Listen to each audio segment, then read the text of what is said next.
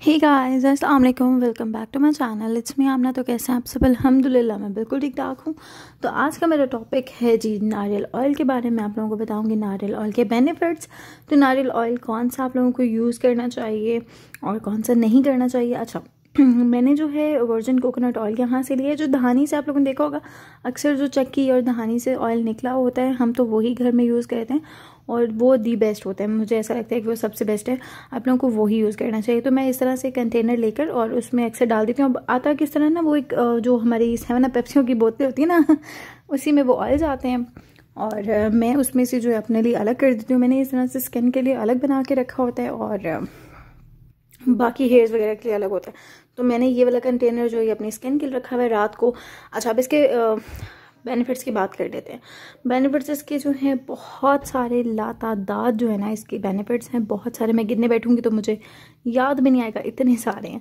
तो इस तरह से देखें कि ये जो ऑयल है, सर्दियों में जो है ना रूम टेम्परेचर पे ये जो है, इस तरह से सख्त हुआ होता है। आजकल आप लोगों को पता है कि अभी फ़िलहाल मौसम इतनी गर्मी की तरफ़ नहीं आ रहा तो अच्छा ये जो मेल्ट होता है, ये ट्वेंटी फाइव जो सेंटीग्रेड होता है, उससे नीचे जो है ना, ये सख्ती रहता है, उसके बाद जो है, ये थोड़ा सॉफ्ट होने लगता है। जैसे इंसान का बॉडी टेम्परेचर थर्टी एट होता है नॉर्मल ठीक है?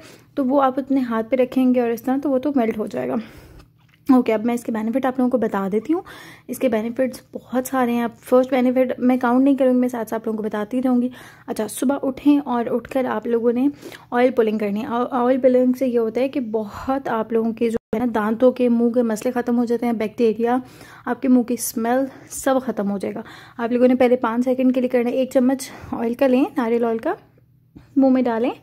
और उससे ना मुँह के अंदर ऐसे कुलियाँ नहीं होती जिस तरह उस तरह इसके, उसको अपने मुँह के अंदर राउंड राउंड घुमाते रहे घुमाते रहे।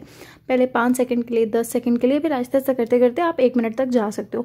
स्टार्ट में आपको थोड़ा सा अजीब भी फील होगा, लेकिन it's very good for your mouth ठीक है, आप लोगों के दांतों के, मुँह के जितने मस्त हैं, उसको ख़त्म कर देगा बहुत ही जल्दी। आजमाई भी बात आप लाजमी ट्राई कीजिएगा। अच्छा सेकेंड थिंग है कि मेकअप रिमूवर के तौर पे बहुत अच्छे से यूज़ होता है। आप लोगों ने जब भी मेकअप किया हुआ हो, रात के टाइम आप इससे अपना मेकअप रिमूव कर सकते हो। बहुत अच्छे से रिमूव करेगा। सस्ता और अच्छा क्लेंजर होगा।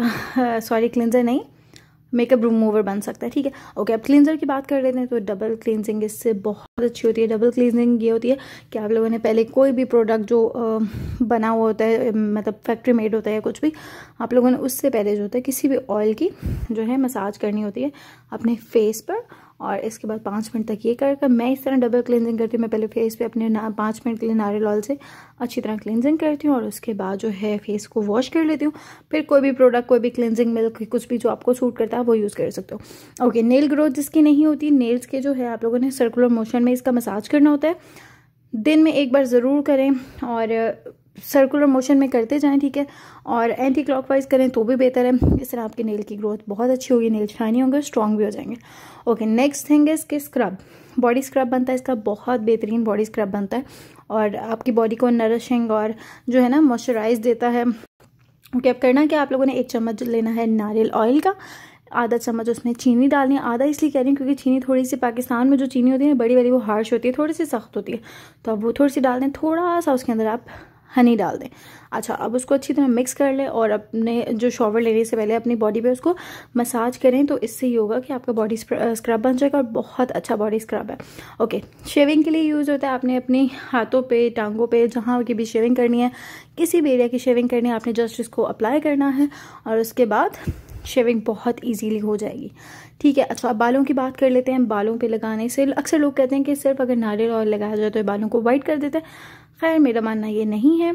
अगर आप लोग इसको बालों पे लगाओगे, आप लोगों के बाल बहुत ही जल्दी लॉन्ग एंड स्ट्रॉन्ग होने लग जाएँगे।